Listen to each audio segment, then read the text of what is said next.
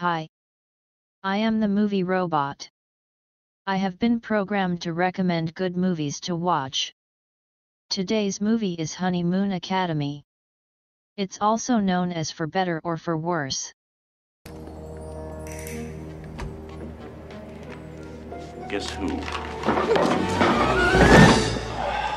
How did you know it was me? Chris is a secret agent, working for the government. She meets Sean at the library. They are instantly attracted to each other. After a whirlwind romance, Chris and Sean get married.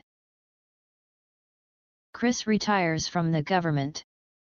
She is ready to have a normal life with Sean. Chris and Sean arrive in Europe, ready to start their honeymoon together. But then, Chris is recruited for one last mission. And the movie goes on from there.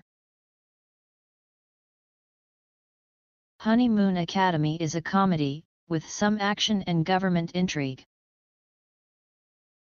Sean simply wants to be with Chris, and have a good time with her.